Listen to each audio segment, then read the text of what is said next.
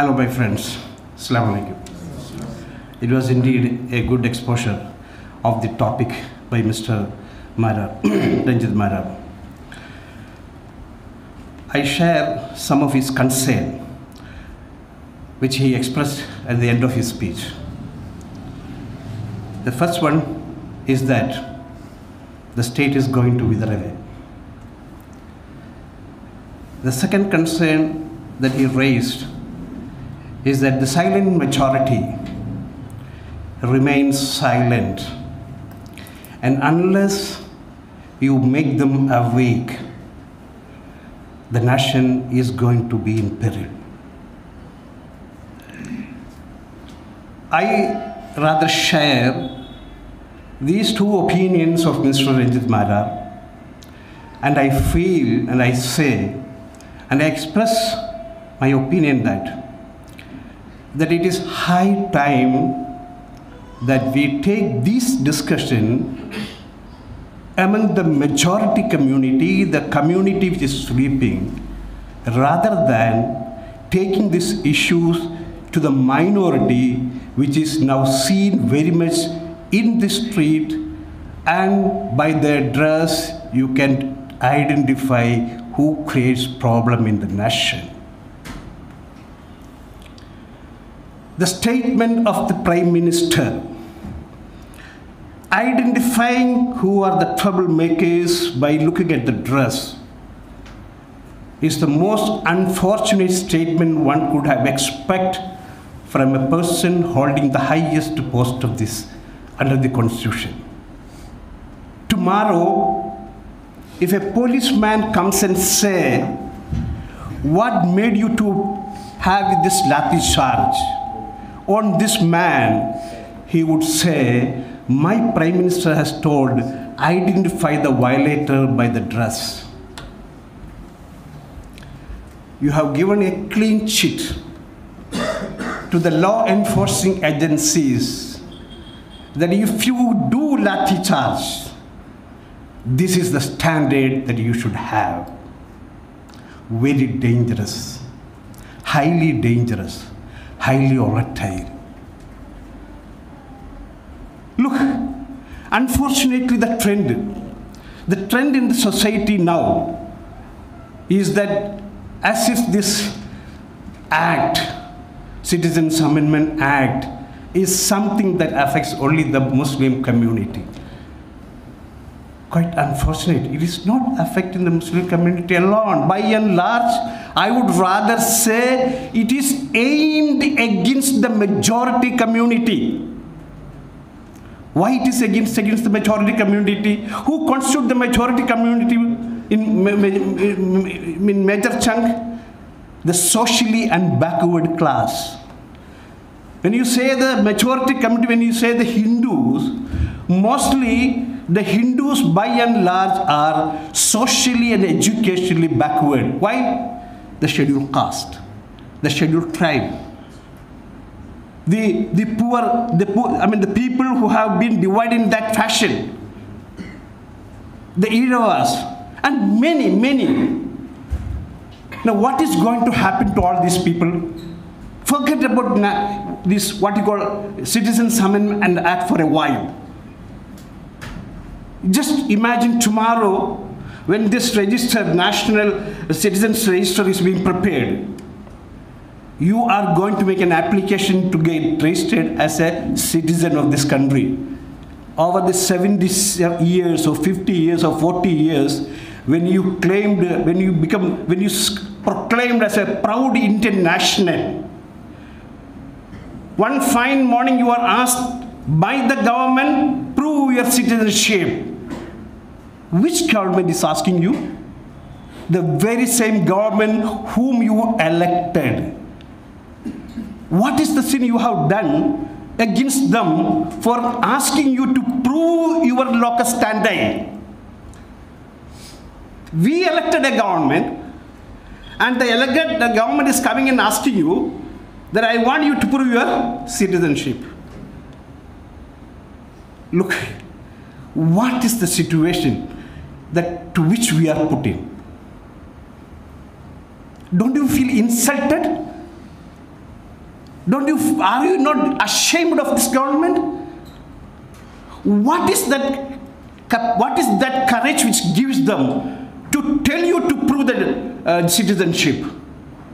Have they, any one of them in the government, after proving citizenship, been elected? Why such questions are not being asked? But the questions are asked in a different tangent. They are asking the question that look, the community, the nation is being divided by the minorities and they are, they are spreading venom news in, across the country. Because what guides them is not the philosophy of Indian idealism in constitutional idea. And he very clearly portrayed what guided them is the philosophy of Veer Savarkar. And that is why, symbolically, they shot Mahatma Gandhi and made Godse the Mahatma. What action being taken by the government? Had it been done by any, any other person, not having allegiance to the RSS, if a Mahatma Gandhi's picture is put and shot, shot him dead, what, where will his stand be? He will be counting the grills. This standard. So we are, we know, nobody needs to tell us now that what, who, who, what is the philosophy of this government. Now, I'm sorry, how are you going to awake the majority? See, tomorrow when I am asked to prove, I as a Hindu, I am not a Muslim, I as a Hindu lived in this country, born in this country, my parents were Hindus. I am asked to prove my identity. I go with all the certificates before the registering authority and they say, look, a birth certificate spelling and address is different from your uh, spelling in the school certificate and the addresses. We had our address when schooling at some elsewhere. My father shifted my home to another place and we have another addresses. So these addresses can never be matched. And my address in the marriage will be different. And my spelling in the spelling of my name and address will be different because we go by not not by strictly scrutinizing each spellings in each documents. As a lawyer over the past 35 years, I know I have not come across even a single client till today without having his name differently spelled in different documents. Now, when you go with all these certificates, we think that I have a ration card, I have Aadhaar, I have passport, I have birth certificate, I have marriage certificate, and I have what not. And take, go to your home, take out all the certificates, your SSLC and everything. See the spellings of your home address, see the spellings of your name, your father's name, your mother's name and see where are where, what are the changes that you have made in the addresses from one place to the other. And you will know then you will have to stand in the queue of every officers for months together for correction of this document. And with all this correction of this document, when you go there, you will still be said, when did you have, where, who is your father, so and so? Where is his birth certificate?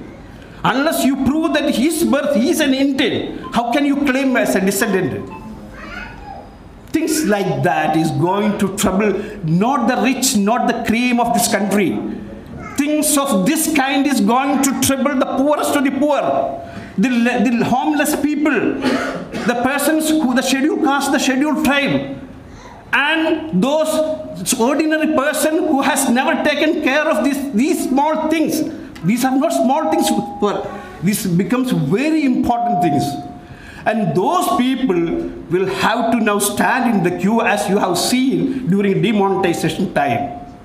Who will stand? If they stand for a day, they will, they will be starving at home. They don't have much income. They don't have bank balances to, to lay for their life. One day, two day, three day, one month, the whole family will starve.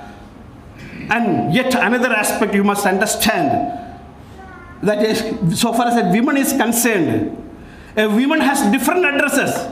Before the marriage, the father's name will be there. After the marriage, husband's father will be there.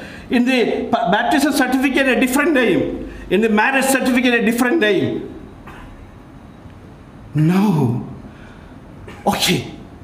The Hindus, the Sikhs, the Buddhists, uh, the Christians, everyone, when say fail, look, you are not a citizen. But as a charity, as a charity, I will give you the citizenship. So you become a second class citizen. Earlier, you were a first class citizen. From your status from a first class to the second class, now are you going to be proud of India? Are you going to be proud of the nation in which you born? My dear, there are many, many questions to be asked. And these questions are to be asked not to the minorities. These questions are to be asked to the majority. Now, what is going to happen to all these people? When you get a second grade stand citizenship, your claim for reservation, your claim for a scheduled caste status, uh, status for a reservation goes because what is given to you is a charity. You have no bargaining power. So the, who is going to run the country? The Savarnas. So they subjugated majority community in the majority uh, uh, society, I'm sorry, is going to suffer. It is this message that should go into the people. And these meetings, I would rather say, not to be held much in the Muslim community. Don't flare up the, this, this fire in the Muslim community. This message must go to the poorest, to the poor people. if we succeed in that, then alone this fight will go and have its object, have its, its ultimate success. Otherwise, you people will create some problem. And as he's pointed out, it's not too far to declare an emergency. It's not too far to declare an emergency. And what is the excuse for an emergency, they would say? The Muslims made the nation to flare up or communal ground. Law and order situation has broken down. The military must come. And with the military coming, not the majority community is going to be grilled. All the topi walas will be grilled. And these topi walas will be grilled, and the community will be left without anyone to be looked after. And very easy way to the, to the dream to come true, that of the Veer Savarkar. So beware, beware of these things with this small uh, comments on this uh, today's topic. Uh, I end my uh, small this thing. I'm sorry if I have exceeded my time, uh, but I was little rather uh, provoked by Mr. Ranjit Mehra about his apprehensions and concerns which he expressed at the end of it. And uh, I must thank him for this exposure. Uh, Beautiful.